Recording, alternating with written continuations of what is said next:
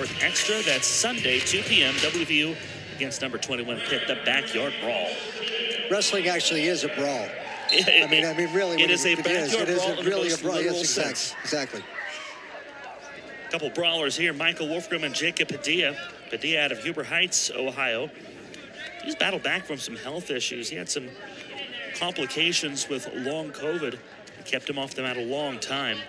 Michael Wolfgram tied for the team lead with four major decisions, 11 and 6 on the season, 41 wins in his Mountaineer career.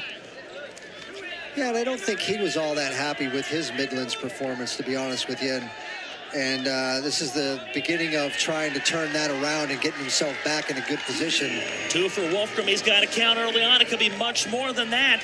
And Michael Wolfgram End up with that four going to get a points. four yep. major fall. Well, he was pinned at Midlands by a wrestler from Pitt. So, a guy who he stands to see here 48 hours from now.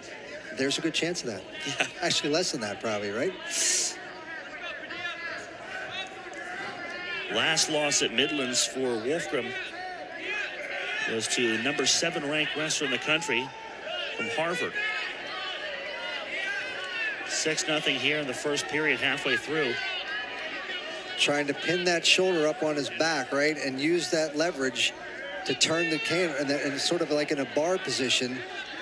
It's a little challenging to do from there for a variety of reasons. Most of them being that, well, now he's in, in not a great spot. Oh well, Padilla sort of collapsed and sort of bailed him out on that. Now he's got the cradle. Another count as Padilla's in the cradle. looks like he got a two count on that one. Now Wolfgram got to drive through, right? Get your hand out of there and drive through. One thing that Tim Flynn said about Michael Wolfgram from his performance at Midlands is that if he had picked up his pace just a little bit more, especially in the bout against the Harvard wrestler, he probably wins that. And he might, right? So now he's definitely we're doing some nice stuff here, right? It's chain wrestling. It's one thing to the next. We're seeing a quicker pace tonight out of Michael Wolfgram. And another count from Wolfgram. And he's going from one thing to another. He's not really stopping and pausing. And, and what he did a nice job of there was he just turned that position into sort of a power half.